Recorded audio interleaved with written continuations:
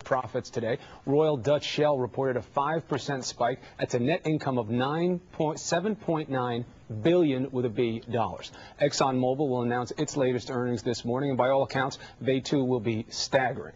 ABC's Bianca Golodryga's here this morning. She has the latest on all of this oil windfall. Good morning, Bianca. Good morning, Chris. Expect a lot of zeros. This morning, Exxon is expected to announce record profits for the second quarter of the year, topping only its own record for biggest quarterly profit ever by a U.S. company.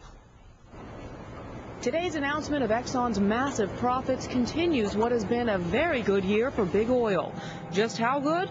Well, it's expected to be even better than last year when the combined sales of the top five oil companies added up to $1.5 trillion. That's greater than the GDP of Canada. Since then, the price of crude has soared by as much as 50 percent. Those kinds of figures have sparked calls for alternatives to foreign oil now more than ever from former oil men. I'm T. Boone Pickens. I've been an oil man my whole life, but this is one emergency we can't drill our way out of. To the executives themselves. We're working very hard to expand and diversify U.S. energy supply. If we could produce something here at home to, to raise our crops and run our cars, why not? It's just kind of a no-brainer. But are they putting their money where their mouth is? We crunch the numbers with Bernard Picchi, oil analyst at Wall Street Access, who says not really. They're probably spending more on the advertising than they're actually spending on the on the actual research. Exxon has publicly said that it is not in the renewable energy business, but rather focused on oil and gas. So it should be no surprise that out of the five largest oil companies, Exxon spent just 1% of its $41 billion in profits last year on alternative energy sources. But none of the others fared much better. The company that invested the most in alternatives? BP. But even that was 2.8%. What they spent on alternative energy was just a drop in the bucket, probably about $2 billion. But experts also argue that oil companies won't have incentive to change their policies until Washington changes its policies. Politicians have been hammering Exxon for what they say is too much emphasis on stock buyback policies instead of investing in alternative exploration. But Chris Exxon and industry experts note that the company's main obligation is to its shareholders, many of which are large pension and mutual funds that have a wide spectrum of Americans depending on them.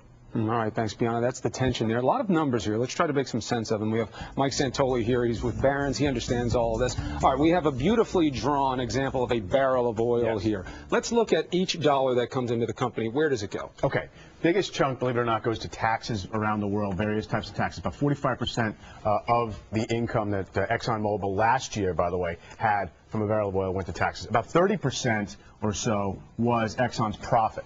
Okay. So it made about a 30% margin. Again, this is only the business of Exxon taking the oil and gas out of the ground and selling it. It's not selling it at the pump. So this is only the part of the business where they're actually drilling for it and selling oil. Uh, then you have production costs, 12%, other administrative and operating costs of 11%, and somewhere between 1 and 2%, somewhere in the low single digits, is spent on new research and exploration. Okay, so now this brings shock and awe and some outrage, right? But should it? Are they supposed to be spending more money, this particular company? Look, a, a company, when it has its profits, can decide to reinvest it in, uh, in new business and looking for more of the resource. Exxon clearly thinks it doesn't have enough profitable opportunities to do that over the long term. I would also point out we've had oil busts in the 80s and the 90s, and big companies were burned for having spent too much money. I will point out, though, 2% of an enormous number is an ever-rising big number in terms of the dollars spent. So what do you think we're dealing with here? Is this politics? Is this media portrayal? Or is this reality of business? It's understandable frustration, and it's a disagreement about what the management of this big company is doing with its money. And I'll point out that uh, the money devoted to share buybacks and dividends has really gone vertical in the last uh, 15 years. 1% of profits up to about 55% of profits last right, so, year. So what we're talking about here is they get, let's say, that 30% profits of taking oil out of the ground and delivering it. You distinguish that from gas stations, which is smart right. because tough to make money at the gas stations right That's now because right. the prices are so high. All right, now what they do with this money, buying back shares. Why do they do that? Who's that good for? They're giving money back to the shareholders who own the company because they don't believe that they have a good, profitable use for that money in terms of finding new oil and gas. I'll point out, big oil companies, privately owned, only have access to about 10% of world oil reserves. It's not as if they can just easily spend money and find uh, new sources of energy.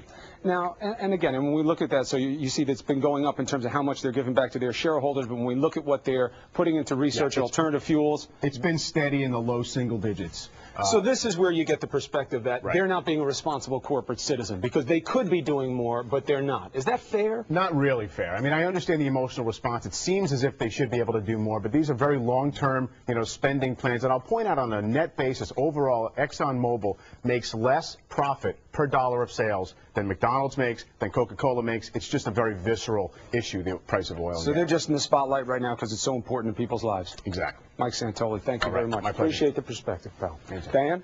All right, and on the